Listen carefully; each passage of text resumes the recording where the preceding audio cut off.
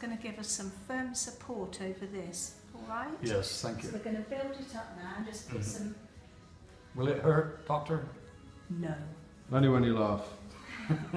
Okay, Karen, you happy to hold the, the dressing? So we're just getting a nice firm base to put the bandage over. It will all, bits will fall off throughout. So it will So- feel firm, but it shouldn't feel uncomfortable, okay? I assume I should stay away from water until the stitches come out. Absolutely. Yeah. This head bandage should Mm. stay on for 24 hours. If it pops off, you can try to reapply it. So we're going to get the base for the head bandage first. Mhm, Nice firm base. mhm. Now, you take Will that. old ladies give me their seat on buses? and Absolutely, things? Yeah. every time. And old men? I don't know. So we're going to go over and over and we're going to catch this bandage as we go round. There we go. And again. This is a bandage they use in accident and emergency. This won't stop the blood flow, flow to the brain, No, though. You've got a nice skull there to stop that happening. Okay, I think, Karen, one more turn there and we've got pretty firm pressure over that. Yeah, that feels nice and firm. So, Well, what we're going to do now is just finish it off away from the back of your head. So if you do lie down, you won't disturb it. So mhm. you hold that one, Karen.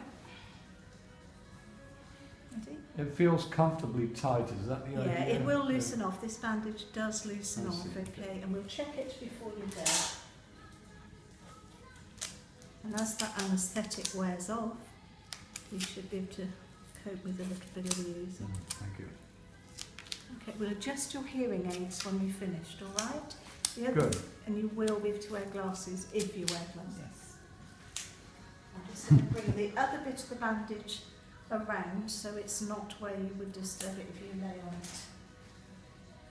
So I think, Karen, if we just pop it to there. And just finish it off here. There's no raggedy bits that you... If it pops off, you can try winding it round again, but it will leave a dressing underneath that will stay intact. Okay. We'll just And you say leave this on for two days? no, just one day, but if it pops off, don't worry about Okay, it. well, Okay, the other thing is sometimes it pops off a little bit at the back, so we're just going to put a bit of tape there. And then Karen's going to adjust your hearing aids. And that will loosen off. We'll check that before you go. All right? Great, thank you. Great, excellent. So, what was that, Dean? What was that, Daniel? um, all right? Yes, lovely. Your brain surgery went very well. Well, thank you.